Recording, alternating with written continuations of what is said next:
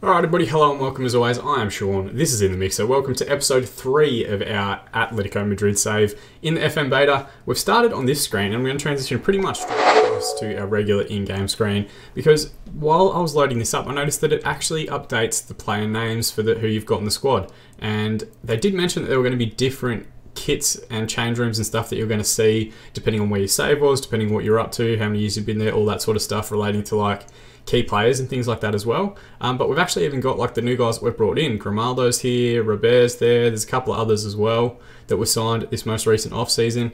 So just really interesting to see that, and I just want to kind of touch on those little details as we see them. But there's been a tremendous amount that has happened since the last episode. There was the end of the transfer window. We didn't have any late additions, nothing that you guys didn't see in episode two. Uh, we also started our Champions League campaign, and we continued our La Liga campaign as well. We're still undefeated, four straight wins to open the season.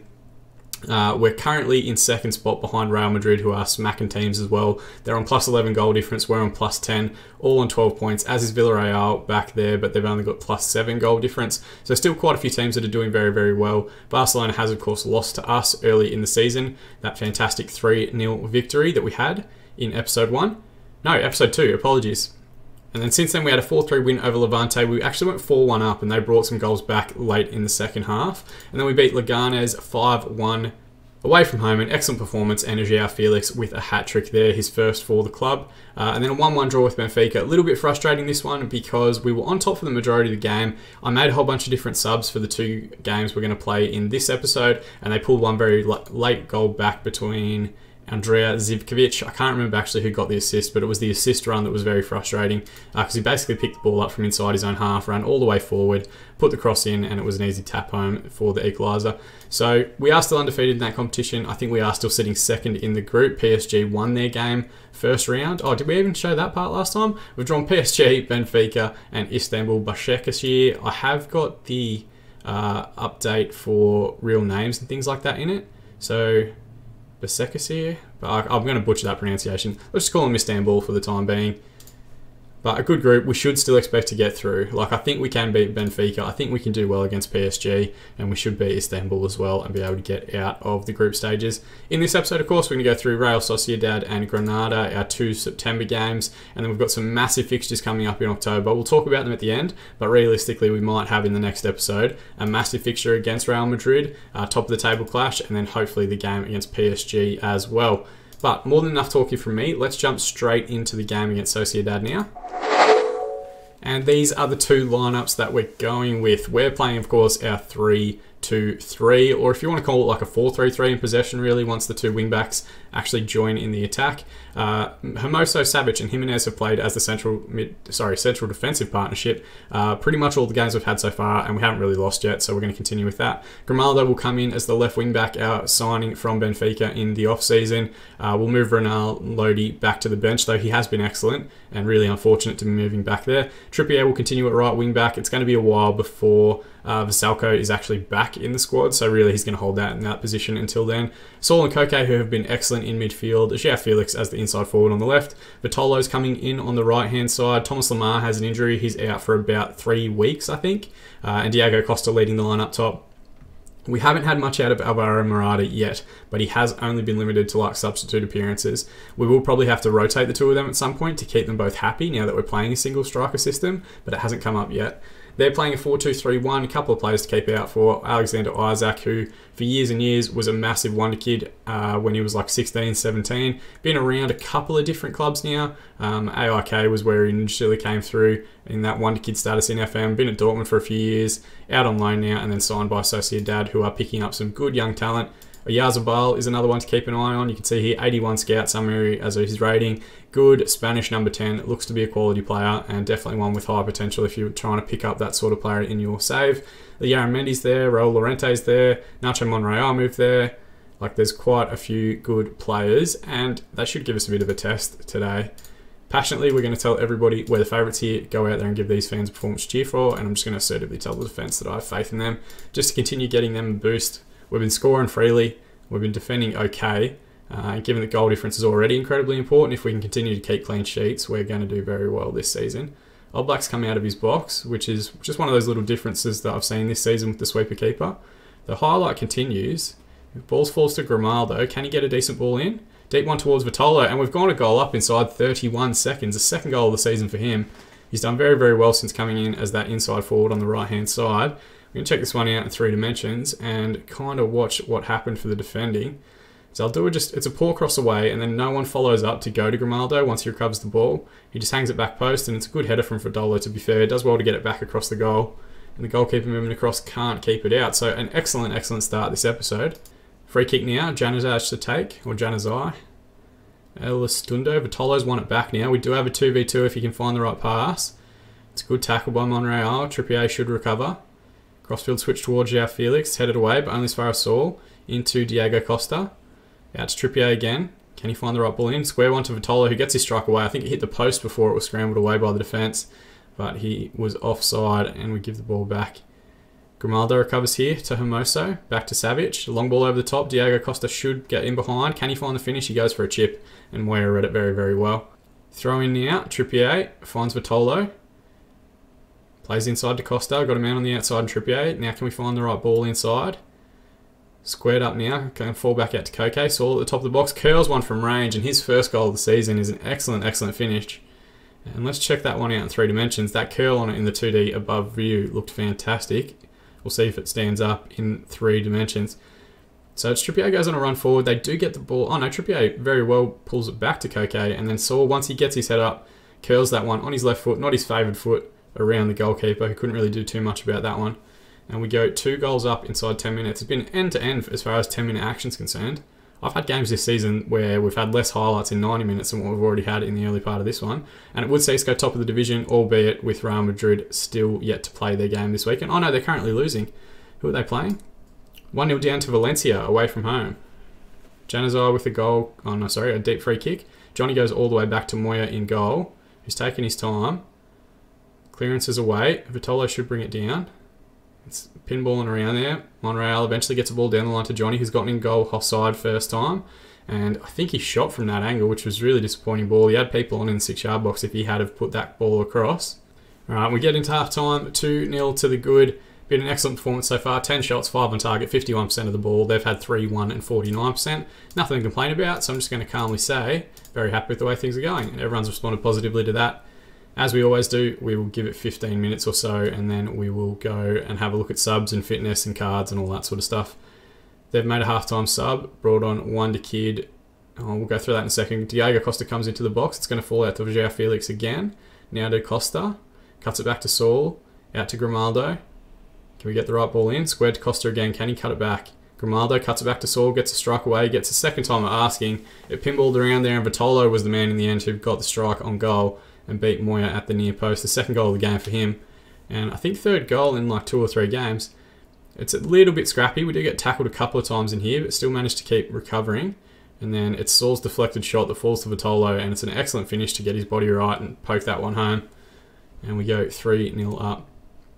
Deep ball from Koke now. Vitolo again with the header. He's hit the crossbar and it's scrambled away by Illarramendi. As I was saying, Martin Odegaard has come on. Still a wonder kid. Still looks decent-ish. Hasn't quite hit the heights that I think were expected of him when he first made his debut. I don't know if he's permanently at Sociedad now or if he is still on loan from Real Madrid. Crossfield switch out now to Koke. Deep ball back towards Trippier. We're retaining possession a little bit better this episode than we have previously. Jimenez now. Crossfield switch towards Hermoso. It's a dangerous place to uh, try that crossfield switch, but he's done it well. Hermoso into Saul. Good triangles here. Got an overlapping run now from Grimaldo. Cuts back to Saul. Crossfield switch over to Trippier. Into Vitolo again. Back to Trippier. Working this combination well. Into Vitolo. Gets his strike away. Hits the post and then scrambled away again. He's on for his hat trick. And we've got another highlight here. I just want to make my subs. Grimaldo. Ball forward. It's going to come to Willian. Crossfield switch. It's a good ball out to Januzaj. He gets towards goal. Gets the strike away. But Oblak does very well to push that one around the post. And I won't see how this corner plays out before we make the subs. Januzaj to take. Away early by Hermoso. Comes out to Odegaard. Cuts it back to Llorente. All the way back to Aramendi. Now Merino in midfield. Go, ball goes back. Monreal into the corner again. Finds Januzaj there. Very similar to how they won the corner. Cuts back to Odegaard and he has pulled a goal back. Second goal of the season for him. Coming off the bench. We've got two yellow cards that I'm most concerned about. So I'm going to bring on Felipe for Hermoso and Lodi for Grimaldo. And there's a couple of players that are struggling a little bit, only on 6.8 match ratings, but I'm going to hold off until the last 10 minutes. And we're also going to, once those subs go through, use our Get Creative shout to try and get back our three goal advantage. Balling behind to Diego Costa, and it's an excellent finish. Grimaldo's going to come off, but that was a lovely weighted pass in behind for him. And Diego Costa's sixth goal of the season in about the sixth game that he will have played in. It's a good ball out to Grimaldo early. He gets out very, very quickly. He's, a he's effectively a winger, the way that he plays. Diego Costa, lovely touch, gets it back on his right foot and smacks that one past the goalkeeper to return us to three goal advantage and 4 1 in the fixture. I'm going to proceed with those tactical changes and use our Get Creative shout. Deep free kick here to be taken by Odegaard. Towards Raul Lorente, Renan Lodi clears it. It was going out for a goal kick. Deep ball in again. Merino with the header. That one was closer to the goal than the initial one, and no one seemed to panic. Goal kick now. Ball forward out to Trippier. It's a well weighted pass. Long ball over the top. Costa should get in behind again. Can he find the finish? Lorente squares it back. Pinballing around, comes out to Renan Lodi, and I'm not sure what that highlight was all about because nothing happened. 10 minutes remaining. They've recovered the ball in midfield. Mendy at the base. Oyarzabal, who hasn't done too much after we spoke about him in the build up to the game. Januzaj's gotten in behind a couple of times behind Trippier now. And again, from a wide area, he goes for the shot instead of the cross and it hits side netting, never really troubling the goal. Throwing now, Trippier to take. Vitolo back out. Lorente into Koke. Deep cross if he can go for it. Instead he goes back, plays a 1-2 pass with Koke again. Does it a third time. Saul into Vitolo, finds Diego Costa at the top of the box. He's the only one willing to shoot sometimes, and it was a good strike, a good save, and a good follow-up from Joao Felix. It's pushed away again, back into Vitolo. Januzaj now. Oyarzabal. He's their first real counter of the match. We're going to see any more of it. They cut it back to Januzaj at the top of the box. The strike hits his own player. Now he's facing the wrong direction, heading back towards goal. Odegaard, and he puts it out for a throw in effectively. So 10 minutes remaining. We've got a highlight again here, end to end, not end to end highlights, but just endless highlights throughout the course of this game. Oblak with the ball, out to Renan Lodi, inside to Saul. Crossfield switch towards Vitolo. We've got a 2v1 if we win the header. Trippier on the overlapping run now. Deep ball across towards Joao Felix. It's an excellent ball and an excellent finish for his fifth goal of the season. The Wonder Kid is playing very, very well at the moment. It's a great ball from Trippier. It looked like a little daisy cutter straight across midfield. Vitolo does well here, wins the little flick on header. Trippier makes a good overlapping run. And then, yeah, he just puts that daisy cutter across the, really the penalty spot area. And first time asking, on his wrong foot, Joao Felix, excellent, excellent finish. 10 minutes remaining, we're going to use our demand more shout just to try and give everyone some focus through to the final whistle. And there's three minutes to be added on. Now, one of the things that I have been seeing is no highlight to show me when the game finishes. So it just ends kind of abruptly. 5 1 in the end, excellent performance. 24 shots, 13 on target, 52% possession, 12 4 and 48% for Sociedad. And we're going to assertively tell everyone, very happy with the result and the way that you played. Real Madrid lost 3 2, so they drop off from top spot. It does see us move into first position, though Villarreal is the other team that has won 5 straight, and they had a pretty. Where are they? Decent win, 4 0 over RCD Mallorca. And Vitolo with an excellent performance and two goals gets a 9.4 match rating. So we'll go and do the post-match press conference. Uh, Sol's calling girl, it was a magnificent strike. Grimaldo had a great game. He was very good. Uh, was spotting the crowd talking about Jose Jimenez isn't going anywhere. He's fantastic. So far in the Liga, 100% record. We're doing very well. And let's praise Vitolo's performance as well. Superb. Lampard spotted, and Atletico Madrid have now won five on the trot to start the season, which is an excellent way to go. Magic of editing, we're going to jump forward to the game against Granada now. Alright, so we're going with one change in our lineup. Renan is going to come in for Grimaldo. Grimaldo was excellent last time out, but he's only sitting around 74-75% match fitness, so we're just going to try and keep that going. Everyone else is absolutely fine, so it's unchanged in that respect. They're playing a 4, like a weird 4-4-1-1 with two defensive midfielders, which is very interesting. There aren't a tremendous amount of players that I actually recognise, so let's just look at their two up front. Antonio Puertas is going to play as the 10. He doesn't look too bad but doesn't look too great either. Nothing to be massively concerned about. And then Carlos Fernandez, 23-year-old Spanish forward. So the reason I wanted to play the game against Granada, they're actually kind of like half part of the City Football Group, and they absolutely beat the living piss out of Melbourne City in a preseason friendly last year, and they were phenomenal in that match. But there's no one here that's jumping out at me as being like particularly magnificent. They got Rui Silva in goal, who's not a bad goalkeeper. But we'll see how we go. I'd like to keep our 100% record intact. I'm not under any illusions that we're going to go undefeated or anything like that, but I did think potentially Granada might be a bit more of a banana skin than they are actually looking from their lineup. But we still have to beat our best to beat them, and they're not going to give us anything for free. Unlike last episode, we get outside the first 10 minutes without scoring three or four goals or watching an entire run of highlights. So definitely not one for the faithful. You might be able to hear it in the background. I've got a new microphone. I don't know how sensitive it is. It's bucketing down with rain in Melbourne today, which is fine. We need it, but I'd much rather be in sunny Madrid. 30 minutes, we're going to use our Get Creative shout. And first highlight of the game, Trippier with a throw in. Koke recovers in a good area and plays it across the Saul. Out to Renan Lodi, can make an overlapping run or reset through the defence again. Goes back to Koke at the base of midfield.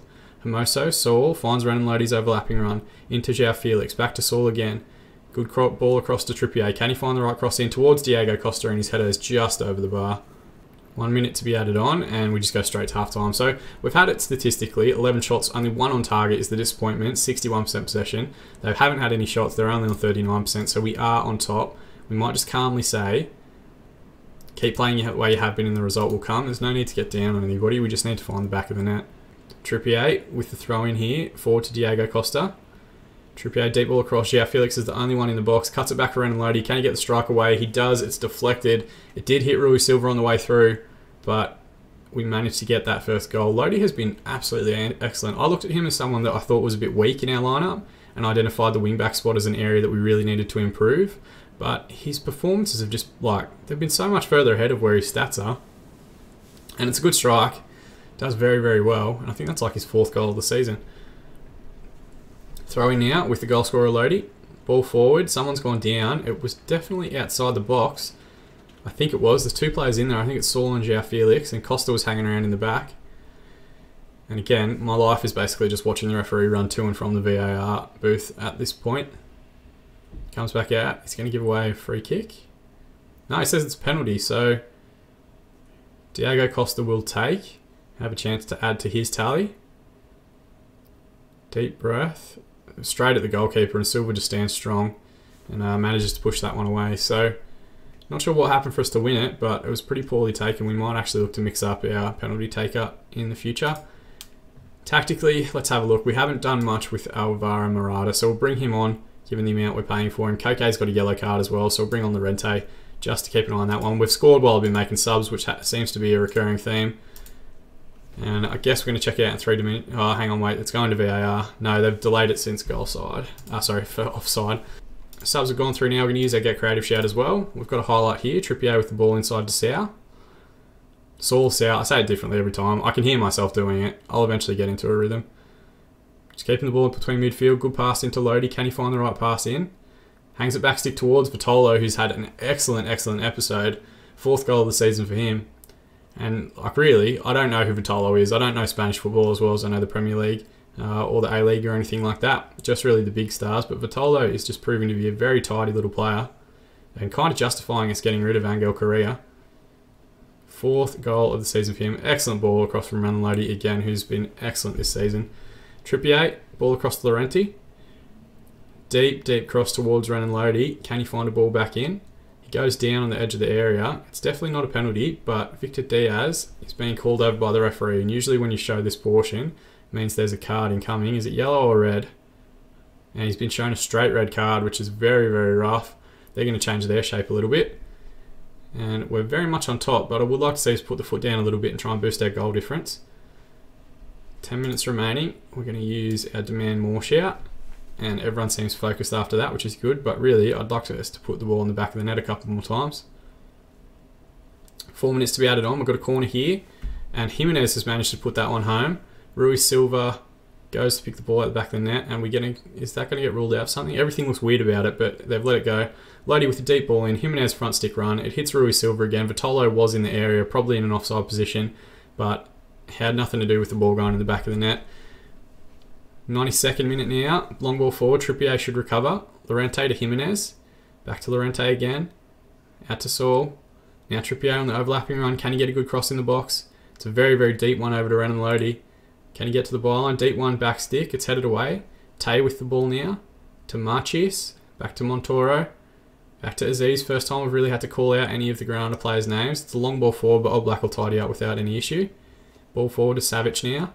Out to Renan Lodi. We've got a 2v1 if we work it correctly on this side. Great crossfield ball towards Vitolo, and an excellent finish from Vitolo. Two doubles for him in this game. Just what a squad player. Like, what more could you want? It's an excellent ball there from Savic just to split the play as quickly as possible. It's tough for Granada to try and rotate that quickly, get their defensive structures right, and then that ball across to Vitolo is absolutely fantastic, and so is the finish, to be fair. Takes a good touch, moves himself into the 18 yard box, smacks it past the goalkeeper, and very quickly we move to 4 0. And then there you go, the, ref, the game just ends.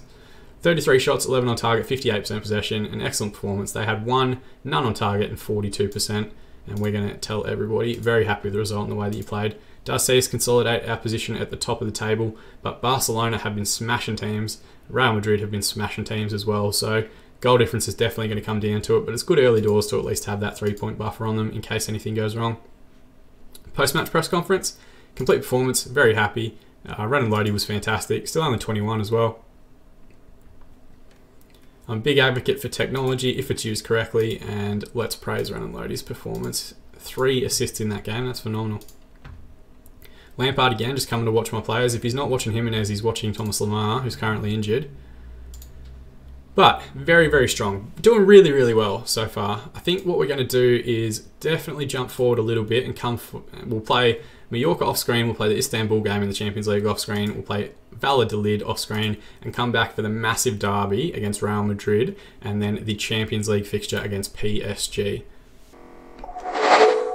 So that does bring us to the end of episode three. We're very quickly getting through the season. I'm really enjoying it so far. So I'm going to try and get as many episodes out as quickly as humanly possible, particularly for the beta save. Our schedule, we don't really have like a formal schedule at the moment. I'm trying to get an episode out each day, Monday to Friday but it will drop off at certain points throughout the course of the year. So we'll probably have two or three a week once we get into the full version of the game and our ongoing series, FC Isle of Man. But for now, enjoy me getting them out as quickly as humanly possible. Uh, our Spanish word of the day is El Jugador del Escuadrón. I'm probably butchering all of that pronunciation, but it means the squad player because we've had Tolo come in and be excellent, we've had Renan Lodi come in and be excellent, and they deserve some representation in this. Uh, uh, next episode, going to be massive, playing the game against Real Madrid, our first Madrid derby of the series so far, and we definitely want to get bragging rights in that one and maintain our lead at the top of the table. And then also a phenomenal fixture, a real massive clash of the Titans in the Champions League against PSG, who definitely one of the best teams in the game this year. If you are enjoying the series, feel free to chuck a like on it. You can also subscribe to the channel if you want to be kept up to date on videos as soon as they're released. Or if you look at the socials just over to the left of me now, you can uh, either follow me on Twitter or follow us on Twitch or do whatever it is that you feel like doing. More than anything though, thank you so much for watching. That's the part that means the most to me. And as always, I've been Sean and I'll see you guys again in the mixer.